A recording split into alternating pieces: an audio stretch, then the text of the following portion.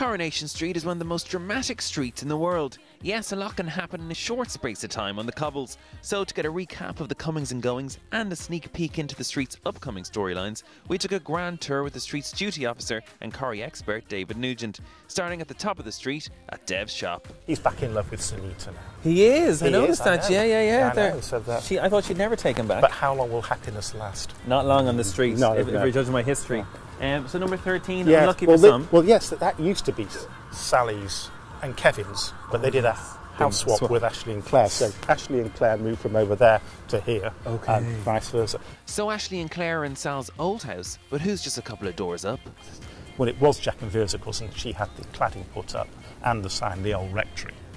You'd go mad if somebody did that next door to you, wouldn't Yes. Well, of course, Molly, when she moved in, of course, wanted it ripped off. But sadly, you pull the cladding off, the whole house comes down, so it's got to stay. Okay, so and that's true, in, and that's not just made out; it's true in real life. I Oh, mean, really? Yeah. If we took that off, the the bricks had come with it. Well, lucky they didn't take them off then, David. Now, Kirk's babysitting number seven at the minute. Maria um, lives there, but she's gone to Ireland to stay with her Yes. in-laws. Yep. She's, n- I mean, Liam is, and Very the sad. Oh, baby, and Tony. It's all been. It's too much for the It's too poor- much for It her. is. It's too She much. came for over to. Ireland. She's hanging out with me, and that's where Yeah, she's living. Well, that puts you. Sipping up in City West. Well, that's very nice for her. you look after her. Don't worry, David. I'll take good care of her. Fiz must have run out the door in a rush at number five. Fiz has forgotten to lock the door. Typical Fiz. Typical Fiz, yeah. Nat John and Ches. So they, they live in there. Okay. And uh, they've been quite good at the moment.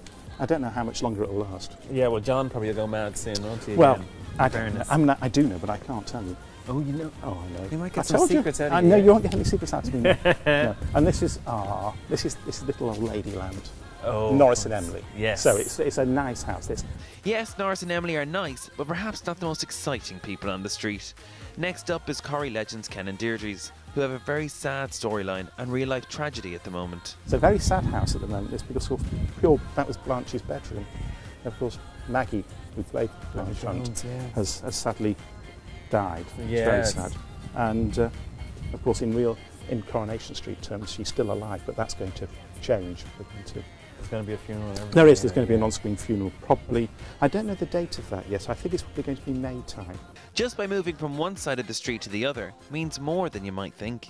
If you've got money, Oh, I you live on this side of the street. Ah, this is So- the posh neck of the woods. it as we were is, saying. and this is Sally's, of course. And Sally's very house proud. She is. Um, Or to ah, Sally and Kev. Well, it- it- yes, this, this is the um, Windass family.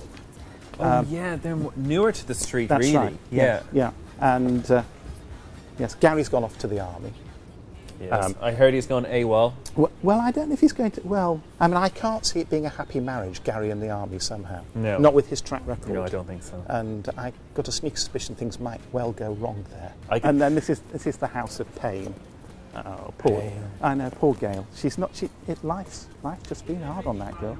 And she, she, she could end up in prison. It could be Deirdre Bar- Barlow Part 2, Free Well- Deirdre Rashid. Well, well, we. I mean, we could. I think it's going to be one of those. Well, oh, we could. Does that mean it's not Well, happening? I don't know. I can't tell you because if I told you, you wouldn't be able to leave Coronation Street forever. Oh, really? and th- and that's a horrible place to that live. could be fun, actually. I could become a new character. Well, you could. Get a job in under, Underworld over here. You, you want to be a knicker stitcher? Well, Yeah, Sean does it. Sean, Sean. Sean, yeah. I can see myself fitting right in.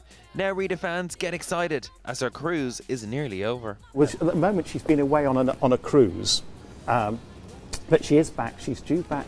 Um, you'll see her on screen in the middle of March. Okay. She's back. Yeah. Now, so that's the outside of the street, Yeah. but I want to see the inside because there's nothing really behind these, is there?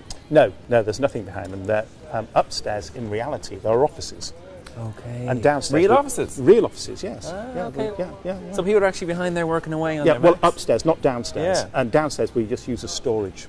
Who would have thought upstairs in the Rovers there's 9 to 5ers typing away? Now, that's a great Corrie storyline we've never heard before here in Xposé.